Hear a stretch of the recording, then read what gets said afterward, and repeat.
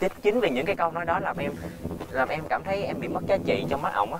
Thì có nói thẳng. Ừ nên nói thẳng sự chứ sau này mà quen rồi rất khó. Cô ơi cô, cô đừng đi lấy chồng. Về Tây Đô bên dòng sông tôi ngồi hát cô nghe đó trời ơi. Cô đừng đi lấy chồng Để hai thằng buồn câu họ lý cây bông.